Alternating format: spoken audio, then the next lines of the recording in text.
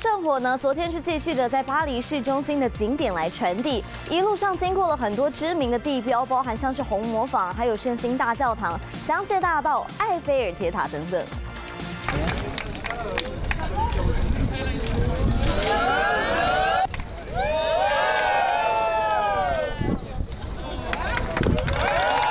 I'm, I'm from Paris and I'm, you know, I'm grew up playing so much sport and grew up watching the Olympics and it was a dream to, to be a part of it and today will be really special. I will remember this day for the rest of my life.